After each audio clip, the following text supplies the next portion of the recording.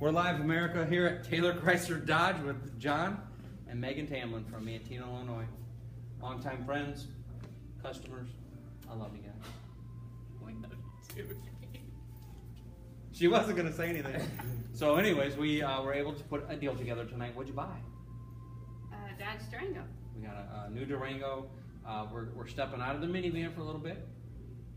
Their four For beautiful, beautiful kids are getting a little bit older, so it's time to set her free from the minivan mom life. Uh, any trips coming up? Going to Wisconsin. Sweet. In the new Durango. Nice. Leaving Sunday. You are petrified. I'm gonna go Yeah. ahead and cut this short. How was your This is experience? too. This is way longer than five seconds. How was your experience this time?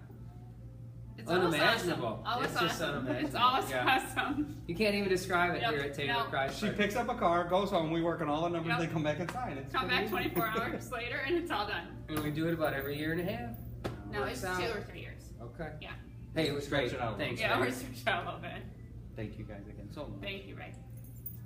Thanks for talking on camera. Yeah, we are. Peace out. Put that on YouTube, man. Oh.